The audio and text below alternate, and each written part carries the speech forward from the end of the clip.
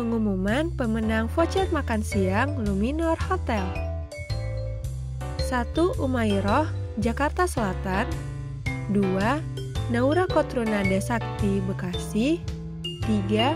Vina Nailatul Izah, Depok Masing-masing akan mendapatkan dua voucher makan siang gratis di Hotel Luminor Pecenongan, Jakarta. Voucher akan dikirimkan ke alamat pemenang. Selamat ya! Teman-teman, jangan lupa kunjungi website untuk anak ya, bobo.id. Like, comment, share, dan subscribe juga ke channel Bobo yuk!